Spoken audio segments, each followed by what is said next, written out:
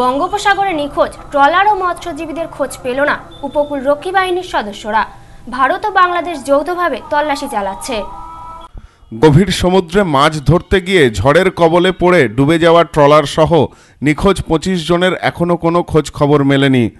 ভারত এবং বাংলাদেশের উপকূলরক্ষী বাহিনী যৌথভাবে তল্লাশি চালাচ্ছে।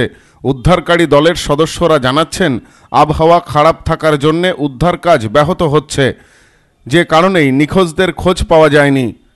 সুন্দরবন উন্নয়ন মন্ত্রী মন্টুরাম পাখিড়ার কাছে নিখোঁজদের সম্পর্কে খোঁজখবর নেন মুখ্যমন্ত্রী মমতা বন্দ্যোপাধ্যায়।